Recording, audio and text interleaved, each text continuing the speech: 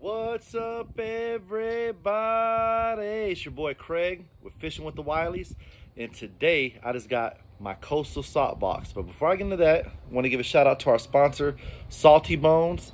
That salty common spelling, B-O-N-Z dot com. Go there, check out these nice t-shirts. They got all kind of nice SPF shirts and everything to keep you protected out there in the water. Use the promo code Wiley. That's W-I-L-E-Y. Save you 10%. But I'm really excited about this coastal box. Why?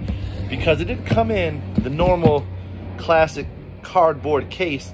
They sent me a tackle box this month. And let me tell you, pretty excited about the content. The tackle box is definitely the big prize.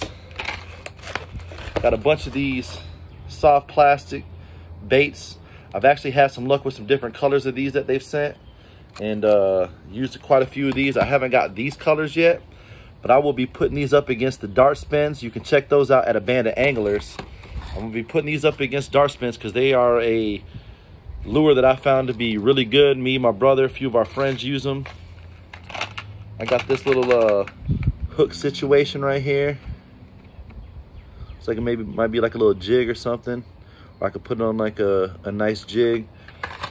Pretty good. Got a couple of these uh, little tackle box things. You can never have too many of these for lures and all kind of stuff like that. Come in real handy. Got some soft plastic baits.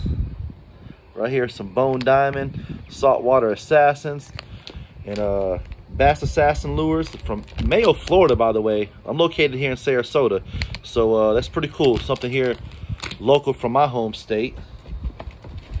As always, you know, you get all the different, all kinds of different hooks and little rigs. Good for going fishing, so you can never go wrong with those. And even if you don't like to use these, you can always just break them apart, use the hook separately. Got this uh, big old bobber right here. It's a uh, cork bobber, I guess. Never really used one of those. Have to try that out. And the uh, the big deal in here, look at this popper, man. This thing is huge. Big old, big old popper, man. I'm sure we can get some tuna or something going on with that, which is actually in season here in Florida. And uh, got us a nice little sticker. That is this month's salt box. I'm excited to get to use some of this stuff here coming up. So y'all stay tuned. Fishing with the Wileys.